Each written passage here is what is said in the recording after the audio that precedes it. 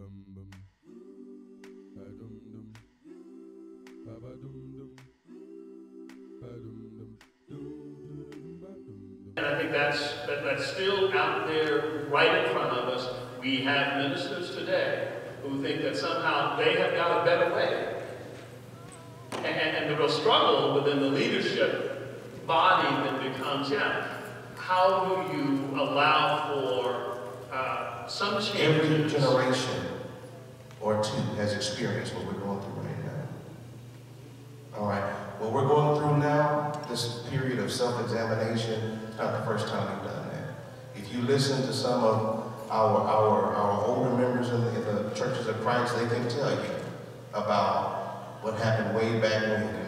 Brother Hogan, Brother Stewart, Brother Key, well, they went through some of, you know, some of these same discussions they then. And so it's not new. And secondly, every generation has to be very careful not to, to come to the conclusion that they've got it all.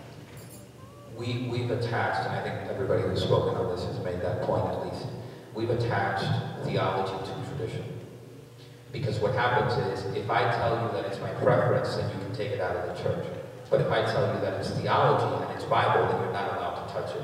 So we've put the, the theology truth box, we've made it, we, we've thrown everything. 6 p.m., that's, that's biblical, okay? Because I don't want you to throw it out. Because if you throw it out, okay, I don't like it. So I think, I think that's one mistake that we've made. And here's the interesting part about this. We started talking about unity in the church and, and deacons and elders and, and getting along and, and, and loving one another and all that stuff. And yet, when it comes to outsiders, we're not willing to extend that same grace. Mm. So we want in the church what we're not willing to extend to others. I'll simply say this. I think we have to be careful about what we're willing to send people to hell for. That's number one. Number two, I think we need to be careful that we as a church don't spend all of our time arguing with one another while the world looks at us and says, how silly. Now I will defend scripture, I will defend truth in English, in Greek, in Hebrew, in Aramaic, let's go. the Lord has to say. And then I know you will believe the same.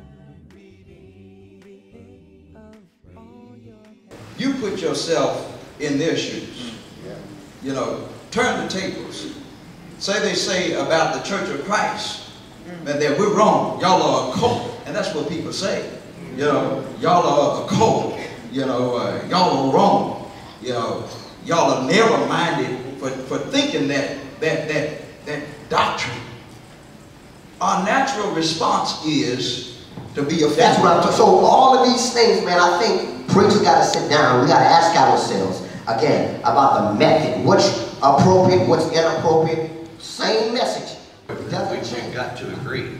I mean, we, we don't have to, my, my point's valid just because my point's different from yours. And if I say, you know, if I'm, if we're both sitting in the boat and we each have our own space and I drill a hole in, in the floor of the boat, uh, in the bottom of the boat, and I say, hey, you're drilling a hole in the bottom of the boat, you say, it's my space, do what I want to with it. Uh, and you're, you're, you can sink the boat. Uh, uh, know, I'm bad, I'll stand up on this. And I dare you to challenge. It. It's not about, man, trying to show who you are, but it's about trying to convert souls and save souls. I don't care about trying to, you know, show my manhood, and I don't care about any brother trying to show his manhood to me. I just want to get people in the water. What is biblically correct? Doctrine versus our traditions and what Brother Chuck said, our preferences. Let's meet. Let's find out what does the Bible say. Okay, the Bible tells us to sing without these mechanical instruments. We all know that. Question is, how do we do that?